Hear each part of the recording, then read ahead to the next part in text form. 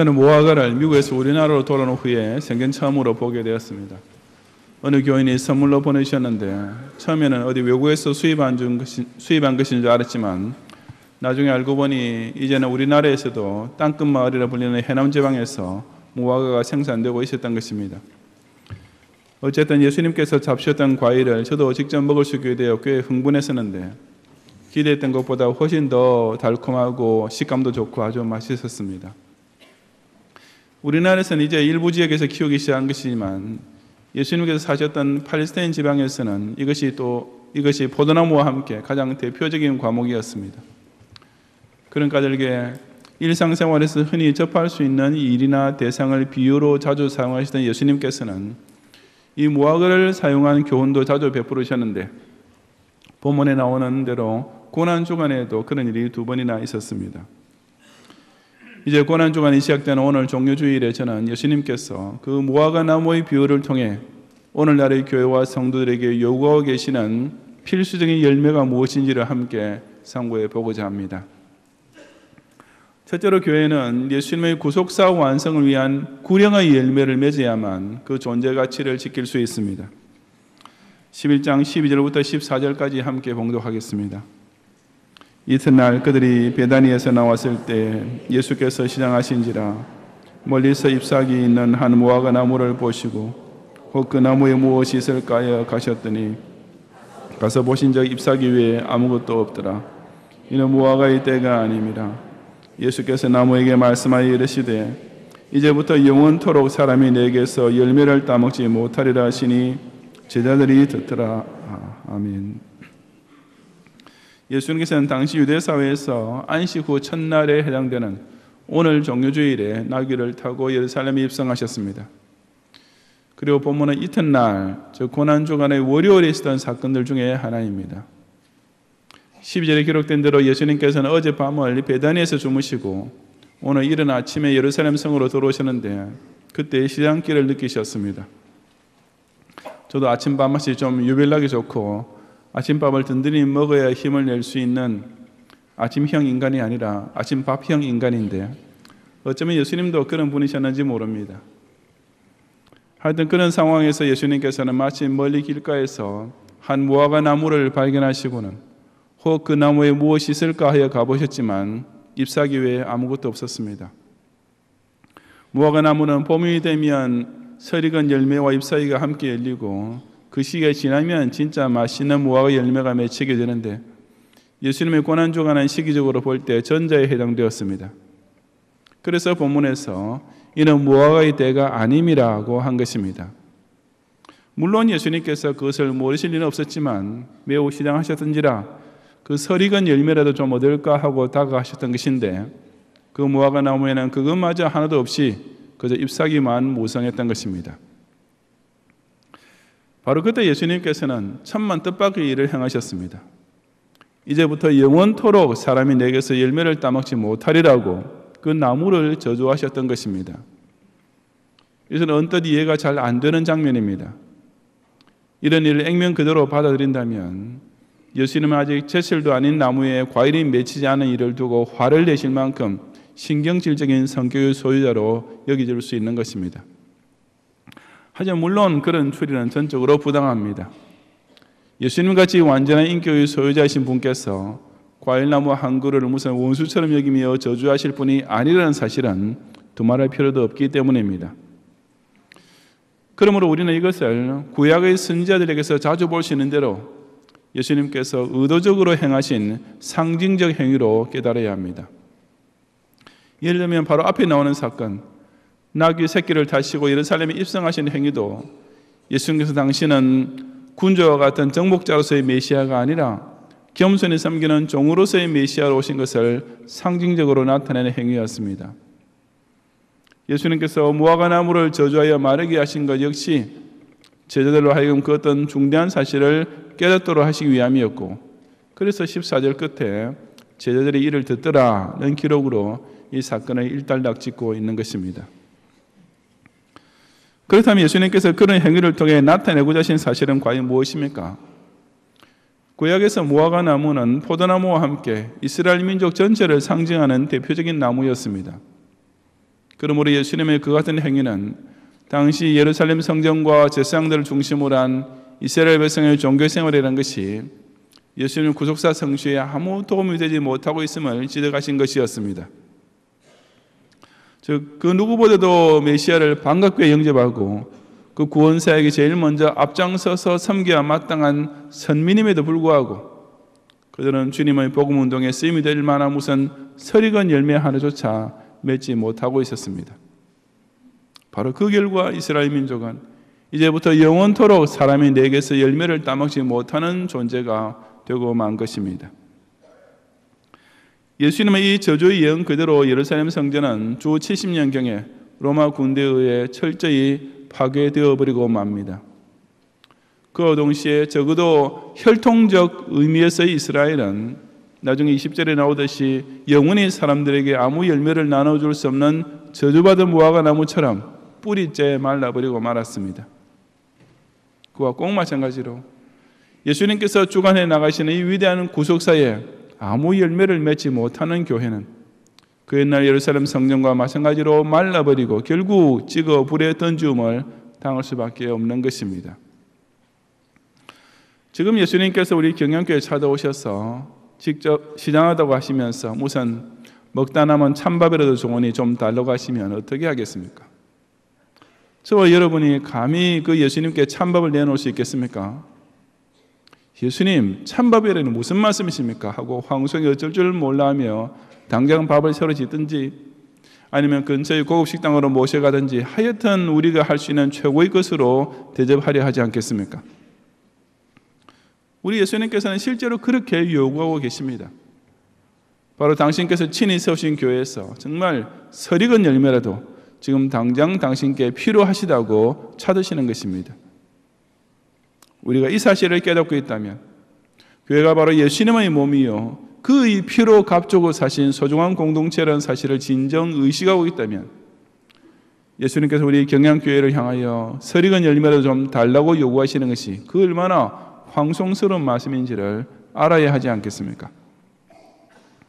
그러므로 지금은 내 신앙 경력이 짧아서 어쩔 수 없이 열매를 못 맺지만 앞으로 더 자르게 되면 그때 가서 풍성하게 맺을 수 있을 것이라고 핑계를 대서는 안 됩니다. 지금은 가난해서 어렵지만 내가 경제적으로 더 많은 복을 받게 되면 그때 가서는 열매도 좀 내놓을 수 있겠다고 마음대로 계산하지 말아야 합니다.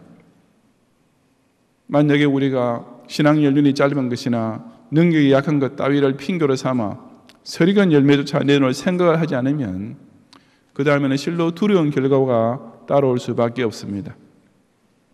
왜냐하면 초기에 설익은 열매조차 맺지 못하는 무화과 나무가 제 때가 될 때 잘 익은 열매를 내놓을 리가 만무하기 때문입니다.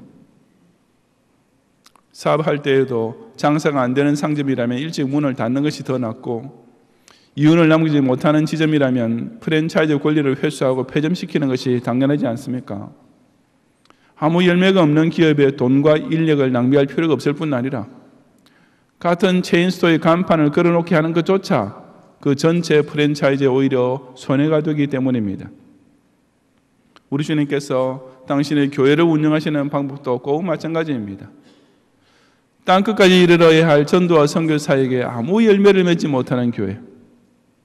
오히려 교회라는 이름이 달리는 자체가 불명예스러운 교회를 남겨두실 이유가 없는 것은 지극히 당연한 일일 뿐입니다. 즉 구령의 열매를 거두지 못하는 교회는 결국 뿌리째 마르는 무화과 나무가 될 수밖에 없는 것입니다. 예수님께서는 오직 쓸모가 있는 교회를 더욱 축복해 주십니다. 그저 신앙 경력만 요란하고 교회단의 횟수만 잎사귀처럼 무성하면서 실제로 주님께서 필요로 하시는 전도와 선교를 위해서는 아무것도 내놓을 줄 모르는 교인들만 가득 모여 있는 교회를 여러분이 예수님이라면 도대체 무슨 이유로 축복해 주시겠습니까? 자신의 현재의 형편과 처지가 어떠하든지 간에 지금 주님께서 당신의 구수사 완성을 위해 당장 필요하다고 요구하실 때마다 비록 설익은 열매를 할지라도 기꺼이 바침으로써 이 경양교회를 통해 앞으로 훨씬 잘 익은 구령의 열매까지 더 많이 함께 생산해내는 성도들이 되시기를 바랍니다. 둘째로 성도는 재림하실 예수님 앞에서 실행일체의 열매를 보여드려야만 영화에 도달할 수 있습니다. 다 같이 13장 28절 이하 37절까지 봉독하겠습니다. 무화과 나무의 비유를 배우라. 그 가지가 연하여지고 잎사귀를 내면 여름에 가까운 줄 아나니 이와 같이 너희가 이런 일이 일어나는 것을 보거든 인자가 가까이 곧 문 앞에 이런 줄 알라. 내가 진실로 너희에게 말하노니 이 세대가 지나가기 전에 이 일이 다 일어나리라. 천지는 없어지겠으나 내 말은 없어지지 아니하리라. 그러나 그날과 그때는 아무도 모르나니 하늘에 있는 천사들도 아들도 모르고 아버지만 아시느니라. 주의하라 깨어 있으라 그때가 언제인지 알지 못함이라. 가령 사람이 집을 떠나 타고 오러 갈 때 그 종들에게 권한을 주어 각각 사물을 맡기며 문지기에 깨어 있으라 명령과 같으니 그러므로 깨어 있으라. 집주인이 언제 올는지 혹 저물 때 일는지 밤중 일는지 다올 때 일는지 새벽 일는지 너희가 알지 못함이라. 그가 호련히 와서 너희가 자는 것을 보지 않도록 하라. 깨어 있으라. 내가 너희에게 하는 이 말은 모든 사람에게 하는 말이니라 하시니라. 아멘. 이 문단은 예수님께서 마가복음 13장을 통해 선포하신 설교 내용의 주제를 요약 정리해 주시는 결론에 해당됩니다. 즉 13장 전체는 곧 종말에 일어날 징조들과 그에 대한 성도들의 대처 자세에 관한 것인데 이제 설교를 맺으시면서 마지막으로 그 요점을 무화과 나무의 비유를 통해 제자리 머릿속 깊이 꼭꼭 새겨지도록 강조해 주신 것입니다. 무화과 나무는 계절에 따라 잎이 민감하게 반응하는 낙엽수 일종이기 때문에 그 가지가 연해지고 잎사귀를 내면 본격적으로 열매를 딸 수 있는 여름이 가까운 줄 알 수 있습니다. 그래서 29절에서 이와 같이 너희가 이런 일이 일어나는 것을 보거든 즉 예수님께서 27절 이전까지 일러주신 여러 가지 말세의 징조들을 보게 되면 인자가 가까이 곧 문 앞에 이런 줄 알라 즉 예수님 재림이 임박한 줄을 알 수 있다고 하신 것입니다. 하지만 그날과 그때는 천사는 물론이고 성자 예수님조차 알 수 없고 오직 아버지만 아신다고. 즉 세상 종말과 예수님 재림이 일어날 정확한 때는 성부 하는 외에는 아무도 모른다고 덧붙이셨습니다. 바로 앞에서는 온갖 말세의 징조들만 자세히 살피고 있으면 당신의 재림의 때도 미리 알 수 있는 것처럼 말씀하셨는데 여기서는 그때가 언제인지는 아버지만 아신다라고 하시니 그래서 예수님께서 갑자기 말을 바꾸신 것처럼 들릴 수도 있습니다. 하지만 물론 예수님께서 모순이 되는 말씀을 하실 리가 만무합니다. 왜냐하면 예수님께서 무화과 나무의 비유를 통해 일깨워 주려 하시는 사실은 재림의 정확한 시간이 아니라 임박한 재림을 항상 준비하고 있어야 할 자세이기 때문입니다. 우선 30절만 보아도 내가 진실로 너희에게 말하노니 이 세대가 지나기 전에 이 일이 다 일어나리라고 천명하셨습니다. 즉 27절 이전까지 해서 일러신 온갖 말세의 징조들이 지금 이 말씀을 듣고 있는 제자들의 세대가 지나가기 전에 다 나타날 것이라고 하신 것입니다. 그럴 수밖에 없는 것이 온갖 천재지변의 재난과 교회와 성도에 대한 박해와 적 그리스도와 이단의 출현 등의 징조들은 어느 특별한 시대에만 나타나는 것이 아니라 사실상 인류 역사를 통틀어서 항상 있는 현상이기 때문입니다. 다시 말해서 예수님께서 강조하시는 요점은 각 개인에게 있어서는 그 본인이 생존하고 있는 세대가 곧 말세요 재림을 준비하시는 마지막 기회라는 사실에 있는 것입니다.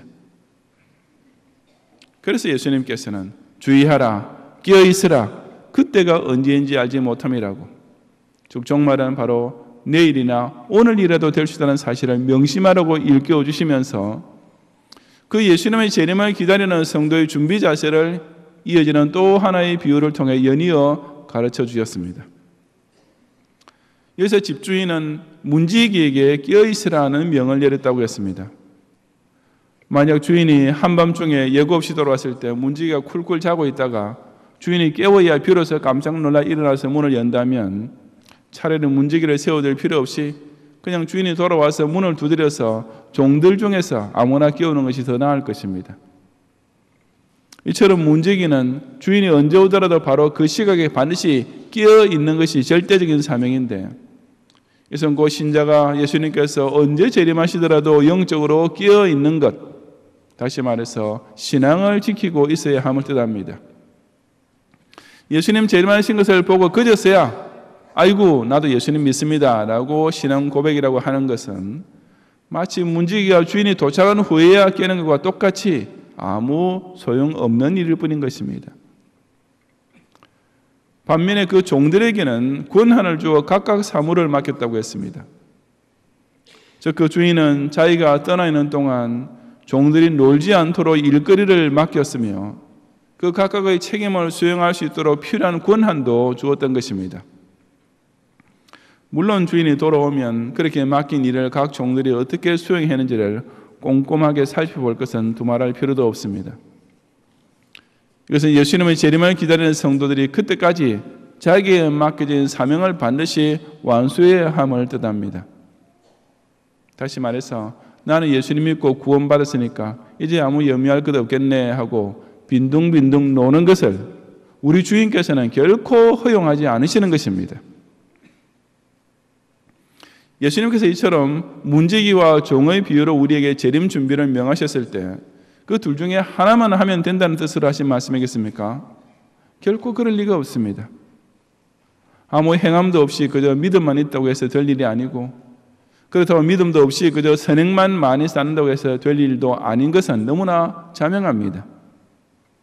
다시 말해서 정말 깨어 있는 성도는 그 깨어 있는 믿음에 충성과 봉사가 따르는 자, 다시 말해서 신행 일치를 지키고 있는 자이며 오직 그런 성도라야만 예수님께서 재림하실 때 영광의 상급과 칭찬을 받게 되는 것입니다.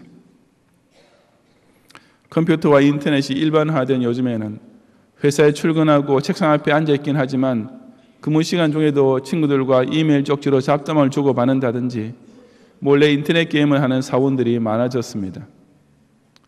그래서 언젠가 리더스 사이에서 보니까 이제 자기 회사 사원들의 컴퓨터 사용 내역을 감시하는 프로그램을 도입하는 회사들이 늘어가고 있다고 합니다. 세일즈를 나가는 영업 사원들 역시 회사 차의 주행거리가 올라가 있는 것만 가지고서는 과연 열심히 고객들이나 거래처를 만나고 있는지 아니면 어디 슬쩍 놀러 다니고 있는지 알 도리가 없습니다. 그래서 이제는 휴대폰으로 위치 추적을 하여 사원들의 근무 상태를 철저히 파악하는 것 역시 흔히 시행되고 있다고 합니다. 하지만 우리 예수님의말로 저와 여러분의 일거수일투족을 위에서 다 내려다 보고 계시지 않겠습니까?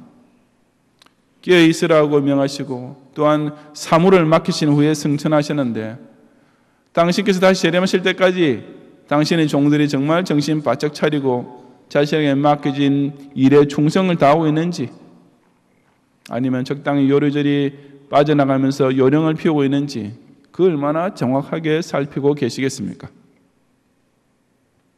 주일마다 교회에 출석해서 예배당에 앉아 있고 신앙생활의 주행거리는 몇십 년 된다 해도 다 진심으로 예수님의 재림을 끼어서 기다리는 신앙인은 아니며 목사의 설교에 아멘으로 화답하고 나름대로 새벽 기도에도 부절히 나온다 해서 다 정말 마음과 정성과 힘을 다해 충성하는 사명인은 아니라는 사실을 우리 예수님께서는 정확하게 파악하고 계시는 것입니다.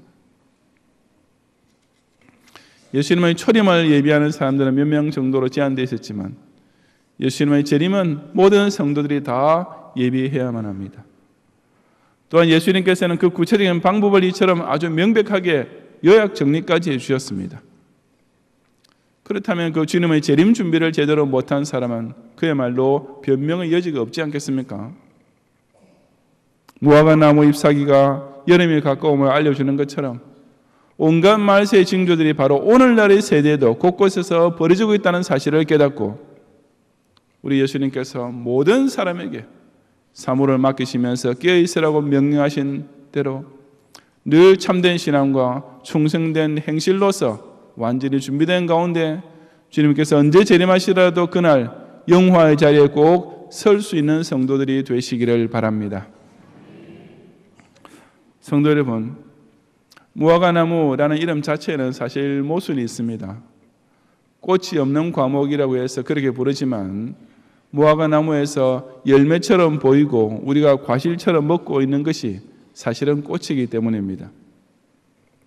무화과를 먹어보신 분은 알겠지만 그것을 쪼개 보면 안에 꽃술이 뭉쳐 있는 것처럼 보이는 부분이 있지 않습니까? 그 꽃술처럼 보이는 것이 사실은 진짜 꽃술이며 열매의 껍질처럼 보이는 부분이 바로 꽃받침에 해당되는 것입니다. 하지만 비록 꽃이라 해도 현실적으로는 그것을 열매로 취급하고 있으며 예수님 비유에서도 마찬가지입니다. 즉 다른 과목들과 마찬가지로 무화과 나무 역시 반드시 열매를 맺어야만 그 존재 가치가 있는 것이며 그렇지 못할 때에는 찍혀서 불에 던짐을 당할 수밖에 없습니다. 다시 말해서 열매가 없는 과목이란 오직 화목이 될 뿐인 것입니다. 그래서 예수님께서는 이 무화과 나무의 비유를 통해 교회와 성도가 반드시 맺어야 할 열매가 무엇인지를 알려주시는 것이 아니겠습니까? 교회는 결코 인간 사회의 정의를 구현시키고 세상을 유토피아로 변혁시키는 것이 그 목적이 존재 목적이 아닙니다. 그것은 정치가들이 해야 할 일입니다. 교회는 가난한 사람을 구제하고 병약한 사람을 치료해주는 선행을 위해서 있는 단체가 절대로 아닙니다. 그것은 사회사업가들이 해야 할 본업이고 복지센터에서 주관해야 할 의무입니다. 교회는 그 무엇보다 오직 전도와 선교에 주력하여 구령의 열매를 맺어야 합니다. 왜냐하면 그런 교회가 되어야만이 예수님께서 지금도 진행하고 계시는 그리스도의 구족 사이에 요긴하게 쓰임 받을 수가 있기 때문입니다. 각 기독 신자 역시 자기 혼자 잘 먹고 잘 사는 것이 인생의 목적에 대해서는 절대로 안 됩니다. 그것은 심지어 동물조차 본능적으로 하는 일 아닙니까? 예수님 믿는 의미가 착하게 살고 선하게 행동하는 데 있는 것이라고 착각해서도 결코 안 됩니다. 그것은 다른 우상 종교인들이 똑같이 따르고 있는 인본주의 종교의 제1계명일 뿐이기 때문입니다. 우리 각 신자는 예수님께서 재림하실 때까지 오직 신행 일치의 열매를 반드시 지키고 있어야 합니다. 왜냐하면 그래야만 예수님께서 천국 곳간에 들이시는 알곡이 될 수 있기 때문입니다. 예수님께서 고난주간에 무화과 나무의 비유를 배우라 하고 마지막으로 당부하신 말씀의 요점은 너무나 명백하지 않습니까? 교회는 예수님의 십자가 대속의 복음을 온 세상에 전파하여 14만 4천인 중에 남은 자를 부지런히 모으는 구령의 열매를 계속 생산해야 하며 각 신자는 이 구세주께서 이제 심판주로서 반드시 속히 다시 오실 것을 기다리는 가운데 신행일체 열매를 간직하면서 그날을 예비해야 하는 것입니다. 이번 고난주간과 금요일 있을 정사 기념 예배를 통해 이처럼 그리스도의 구사 완성을 위해 쓰임 받는 교회 이처럼 깨어서 자기의 음악적인 사물을 완수하는 신자로서의 서원을 다시금 되새기고 굳게 결단하는 성도들이 되시기를 주님의 이름으로 축원합니다.